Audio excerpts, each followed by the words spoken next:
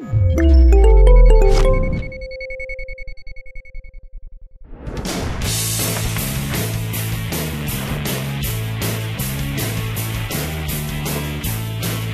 mejor manera de describir The Swapper es decir que se trata de un Metroidvania, en el que un astronauta solitario recorre una gigantesca estación espacial donde el héroe obtiene nuevas habilidades y regresa a puntos predios del mapa para abrir nuevas puertas con los poderes o armas recién obtenidos.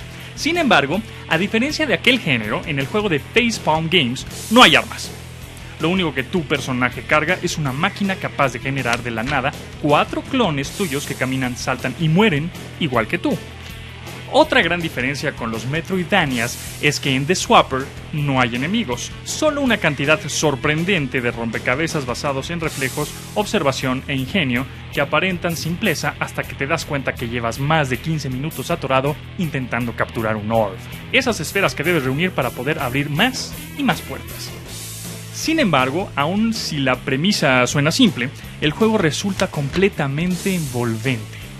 The Swapper, que originalmente apareció en Steam en mayo del año pasado, tiene un estilo de arte basado en modelos de arcilla, que le da un sabor lúgubre y solitario, y esta sensación se ve acentuada por la aparición de los pensamientos de los Watchers.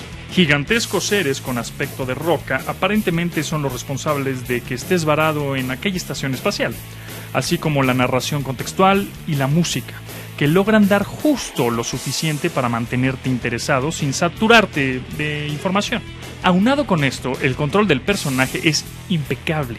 Será más apreciado por aquellos que aprovechan la opción Crossbuy, jueguen en PlayStation 3 o PlayStation 4 y PlayStation Vita, donde Curve Digital adaptó la pantalla frontal táctil para permitir controlar tu herramienta de clonación.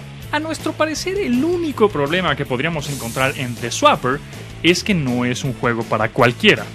Su ritmo es muy pausado para aquellos deseosos de disparar ante el más pequeño enemigo, mientras que su estética oscura y sobria tal vez no enloquezca a aquellos ansiosos por ver explosiones multicolor en su pantalla. Eh, de cualquier manera, si te sientes listo para pasar un rato en compañía solo de tus cuatro clones y rompecabezas perfectamente diseñados, The Swapper es una excelente opción. A este título le damos 5 botones de 5.